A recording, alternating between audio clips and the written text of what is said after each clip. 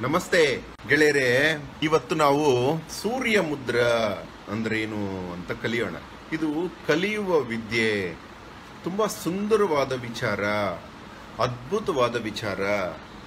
ಸೂರ್ಯ ಮುದ್ರೆ ಅಂದ್ರೆ ಏನು ಅನ್ನುವುದಕ್ಕಿಂತ ಮುಂಚೆ ಮುದ್ರೆ ಅನ್ನುವುದನ್ನು ತಿಳಿದುಕೊಳ್ಳೋಣ.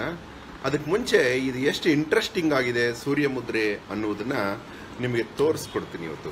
ಬೆಳಗಿನ ಜಾವ ಸೂರ್ಯೋದಯದ ಸಮಯದಲ್ಲೂ ಮತ್ತೆ ಸೂರ್ಯಾಸ್ತದ ಸಮಯದಲ್ಲೂ ಸೂರ್ಯ ಮುದ್ರೆಯನ್ನು ನಾವು ಬಳಸ್ತೀವಿ. ಸೂರ್ಯ ಮುದ್ರೆ ಹೀಗಿರುತ್ತೆ. ನೋಡಿ. ನೋಡಿ, ಇದು ಸೂರ್ಯ ಮುದ್ರೆ. ಕಾಣ್ತಾ ಇದೆಯಲ್ಲ? ನೋಡಿ, ಇಲ್ಲಿನ ಸೂರ್ಯನ ಕಣ್ಣು ಕಾಣುತ್ತೆ. ಇದನ್ನ ಕನ್ನಡದಲ್ಲಿ ಸೂರ್ಯನ ಕಣ್ಣು ಅಂತ ಕೂಡ ಕರೀತಾರೆ. ಅಂದ್ರೆ ಸೂರ್ಯನನ್ನ ನೋಡುವಂತಹ ಕಣ್ಣು, ಕಣ್ಣಿನ ಆಕೃತಿ ಬಂದಿದೆ ನೋಡಿ, ಬೆರಳುಗಳ ಮಧ್ಯೆ. ಬೆಳಗಿನ ಜಾವ ಸೂರ್ಯನನ್ನು ನೋಡಿದ್ರೆ ಇದರಲ್ಲಿ ನಮಗೆ ಆ infrared rays ultraviolet rays ಏನೂ ಸಿಗೋದಿಲ್ಲ. ಟೋಟಲ್ ಇಂಟರ್ನಲ್ ರಿಫ್ಲೆಕ್ಷನು ಟೋಟಲ್ ನೀವು ಏನು ಅದರ ರಿಫ್ರಾಕ್ಟಿವ್ ಇಂಡೆಕ್ಸ್ ಅಂತಾರಲ್ಲ ರಿಫ್ರಾಕ್ಟಿವ್ ರೇಸ್ ಮಾತ್ರ ನಮಗೆ ಬೀಳೋವಂಗೆ ಇದು ಸಹಾಯ ಮಾಡುತ್ತೆ. ಅದೇನೇ ಇರಲಿ, ಅದು ವೈಜ್ಞಾನಿಕವಾಗಿ ಅದು ಅಲ್ವೋ, ಹೌದೋ, ನಮಗೆ ಅದರ ಬಗ್ಗೆ ಬೇಡ. ಇದು ಎಷ್ಟು ಇಂಟ್ರೆಸ್ಟಿಂಗ್ ಆಗಿದೆ ಈ ವಿದ್ಯೆ. ಅನ್ನೋದನ್ನ ನಾವು ತಿಳಿದುಕೊಳ್ಳೋಣ. ಈ ಸೂರ್ಯ ಮುದ್ರೆಯನ್ನ ಮಾಡೋದು ಹೇಗೆ ಅನ್ನೋದನ್ನ ಇವತ್ತು ಕಲಿಯೋಣ.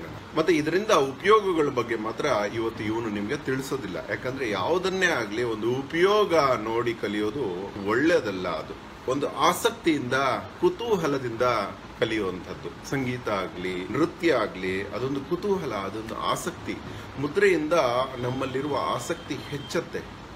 ಮುದ್ರೆ ಅಂದ್ರೇನೆ ಇನ್ವರ್ಟರ್ ಅಂತ ತಿಳ್ಕೊಳ್ಳಿ. ಈ ಮಾಡರ್ನ್ ವೈಜ್ಞಾನಿಕ ಭಾಷೆಯಲ್ಲಿ.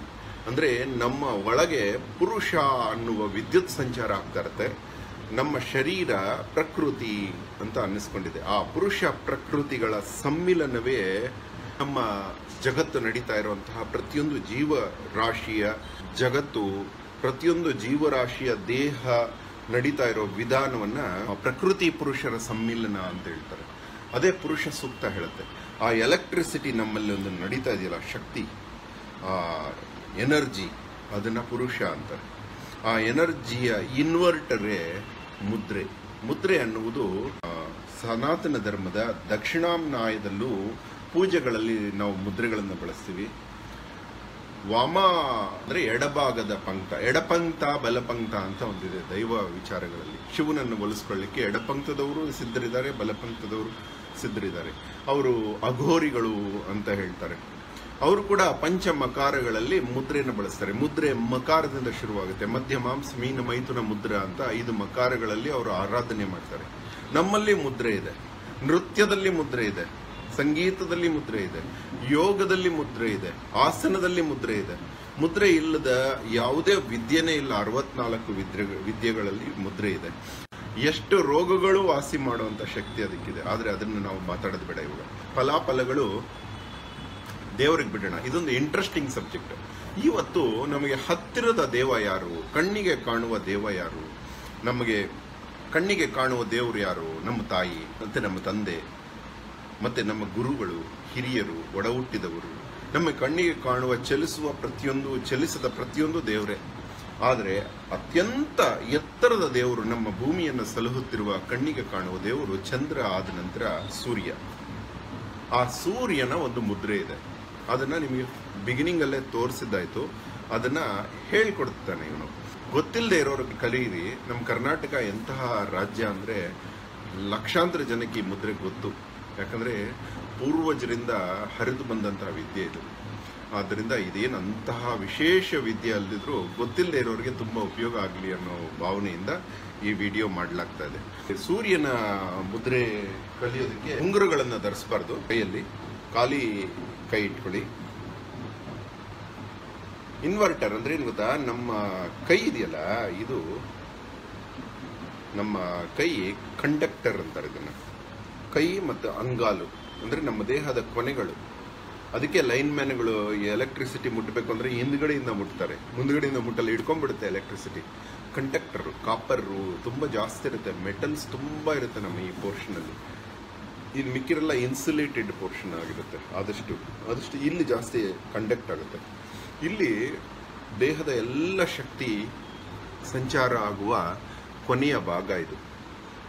ಈ ಪೋರ್ಷನ್ ಅಲ್ಲಿ ಎಲೆಕ್ಟ್ರಿಸಿಟಿ ಸಂಚಾರ ಆದಾಗ ನಮಗೆ ಬದುಕಲಿಕ್ಕೆ ಆಗುವಂತಹ ಡೈಲಿ ಡ್ರೈನ್ ಆಗ್ತಾ ಇದೆ ಜೋಗ್ ಫಾಲ್ಸ್ ಹೇಗೆ ಡ್ರೈನ್ ಆಗ್ತಿತ್ತೋ ಆ, ವಿಶ್ವೇಶ್ವರಯ್ಯನವ್ರು ನೋಡಿ ಎಷ್ಟು ಎನರ್ಜಿ ವೇಸ್ಟ್ ಆಗ್ತಿದೆ ಅಂತ ಅಲ್ಲಿ ಒಂದು ಜನರೇಟಿಂಗ್ ಸ್ಟೇಷನ್ ಶುರು ಮಾಡ್ತಾರಲ್ಲ ನಮಗೆಲ್ಲ ಕರ್ನಾಟಕಕ್ಕೆಲ್ಲ ಬೆಳಕು ಬರೋಂಗೆ. ಆ ರೀತಿ ನಮ್ಮ ದೇಹದಲ್ಲೂ ಜೋಗ್ ಫಾಲ್ಸ್ ಥರ ನೀ ಎನರ್ಜಿಸ್ ಎಲ್ಲ ವೇಸ್ಟ್ ಆಗ್ತದೆ. ಚಪ್ಪಾಳೆ ಹೊಡೆದಾಗ ಎನರ್ಜಿ ಆಗುತ್ತೆ ನಮಸ್ಕಾರ ಮಾಡಿದಾಗ ಎನರ್ಜಿ ಆಗುತ್ತೆ ಶೇಕ್ ಹ್ಯಾಂಡ್ ಮಾಡಿದಾಗ ಎನರ್ಜಿ ಹೋಗುತ್ತೆ. ಇದನ್ನು ಇನ್ವರ್ಟ್ ಮಾಡಿ ಬೇಕಾದಾಗ ಬಳಸೋದು ಮುದ್ರೆ. ಜ್ಞಾನ ಮುದ್ರಾಯ ಕೃಷ್ಣಾಯ ಗೀತಾಮೃತ ಗುಹೇನ್ ನಮಃ. ಕೃಷ್ಣ ಐದು ಸಾವಿರ ವರ್ಷದ ಹಿಂದೆ ಮುದ್ರೆಗಳನ್ನು ಬಳಸಿದ್ದು, ಬುದ್ಧ ಎರಡು ಸಾವಿರದ ಐನೂರು ವರ್ಷದ ಹಿಂದೆ ಮುದ್ರೆಗಳನ್ನು ಬಳಸಿದ್ದು, ಅದೇ ಸಮಯದಲ್ಲಿ ವರ- ಮಹಾವೀರ ಬಳಸಿದ್ದು, ಶಿವನ ಸಮಯದಲ್ಲಿ ಆದಿನಾಥ ಬಳಸಿದ್ದು.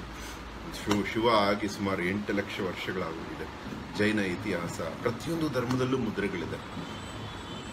ನಮಾಜಲ್ಲಿ ಮುದ್ರೆ ಇದೆ. ಅವರು ಮುದ್ರೆಗಳನ್ನು ಮಾಡ್ತಾರೆ ನೋಡಿ. ಜೀಸಸ್ ಕ್ರೈಸ್ತನ ಪೂಜೆ ಮಾಡೋರು ಮುದ್ರೆ ಮಾಡ್ತಾರೆ. ಮುದ್ರೆ ಇಲ್ಲದ ಶಾಸ್ತ್ರನೇ ಇಲ್ಲ. ಆದರೆ ಅತ್ಯಂತ ಹೆಚ್ಚು ಮುದ್ರೆಗಳು ಭರತನಾಟ್ಯ, ಕಥಕ್ಕು, ಯೋಗ ಇವುಗಳಲ್ಲಿ ಮುದ್ರಾ ವಿಜ್ಞಾನನೇ ಒಂದಿದೆ. ಆದರೆ ಇವತ್ತು ನಾವು ಈ ವಿದ್ಯೆಯನ್ನು ಕಲಿಯೋಣ. ನೋಡಿ, ಇದರಲ್ಲಿ ನಮ್ಮ ಈ ಮಧ್ಯ ಬೆರಳು ಮತ್ತು ಉಂಗುರ ಬೆರಳು. ಈ ಎರಡೂ ಬೆರಳುಗಳನ್ನು ಹೀಗೆ ಮಡಚಿ. ಮಧ್ಯ ಬೆರಳು, ಉಂಗುರ ಬೆರಳು. ನೋಡಿ. ಇದು ಭೂಮಿ, ನೀರು ಅಲ್ವಾ? ಆಕಾಶ. ಆಕಾಶ ಮತ್ತೆ ಭೂಮಿ ಎರಡನ್ನು ಮಡಚಿ ಅಪೋಸಿಟ್ ಡೈರೆಕ್ಷನಲ್ಲಿ ಇದನ್ನ ಹೀಗೆ ಲಾಕ್ ಮಾಡಿ, ಹೀಗೆ ಕರೆಕ್ಟಾಗಿ ನೋಡ್ಕೊಳ್ಳಿ, ಹೀಗೆ ಲಾಕ್ ಮಾಡಿ. ನೋಡಿ, ಹೀಗೆ ಲಾಕ್ ಮಾಡಿ. ಹೀಗೆ ಲಾಕ್ ಮಾಡಿ. ಇವಾಗ ಆ ಎರಡೂ ಬೆರಳುಗಳನ್ನು ಸರಾಗವಾಗಿ ಬಿಟ್ಟು ಈ ಹೆಬ್ಬೆರಳಿಂದ ಈ ಬೆರಳನ್ನ, ಈ ಹೆಬ್ಬೆರಳಿಂದ ಈ ಎರಡು ಬೆರಳನ್ನ ಲಾಕ್ ಮಾಡಿ ಇಟ್ಕೊಂಡ್ರೆ ಸೂರ್ಯ ಮುದ್ರೆ ಆಗುತ್ತೆ. ನೋಡಿ ಎಷ್ಟು ಸುಂದರವಾಗಿ ರಂಗೋಲಿ ಬಿಡಿಸ್ದಂಗಿದೆ ಸೂರ್ಯ ಮುದ್ರೆ ಇದು ಈ ಕಡೆಯಿಂದ ನೋಡಿದ್ರು ಸೇಮ್ ಕಾಣುತ್ತೆ ನೋಡಿ. ನೋಡಿ, ಸೇಮ್ ಕಾಣುತ್ತೆ. ಎರಡು ಕಡೆಯಿಂದ ಸಮಾನಾಂತರವಾಗಿರುತ್ತೆ ಈ ಮುದ್ರೆ. ಇದನ್ನ ಸೂರ್ಯ ಮುದ್ರೆ ಅಂತಾರೆ. ಈ ರೀತಿ ಸೂರ್ಯನನ್ನು ನೋಡುವಂತಹ ಮುದ್ರೆ ಇದು. ಇದನ್ನು ಇದನ್ನ ಕಲ್ತ್ಕೊಳ್ಳಿ. ಇನ್ನೊಂದ್ಸಲ ನೋಡಿ. ಹೀಗೆ.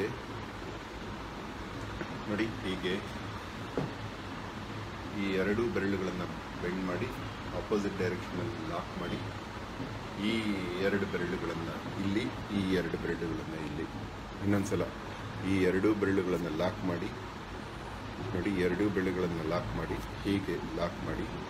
ಮತ್ತು ಈ ಎರಡು ಬೆರಳುಗಳನ್ನು ಈ ಹೆಬ್ಬೆರಳಿಂದ, ಈ ಎರಡು ಬೆರಳುಗಳನ್ನು ಈ ಹೆಬ್ಬೆರಳುಗಳಿಂದ ಲಾಕ್ ಮಾಡಿ ಹಿಡಿದ್ರೆ, ಮತ್ತು ಈ ಕಿರುಬೆರಳು ಮತ್ತು ಹೆಬ್ಬೆರಳು ಟಚ್ ಮಾಡಿ, ಈ ಕಿರುಬೆರಳು ಹೆಬ್ಬೆರಳು ಟಚ್ ಮಾಡಿ, ನೋಡಿ ಎಷ್ಟು ಚೆನ್ನಾಗಿದೆ ಮುದ್ರೆ ನೋಡಿ.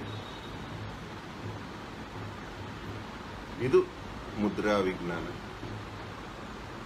ತುಂಬ ಧನ್ಯವಾದಗಳಿರೆ thank you very much thank you very much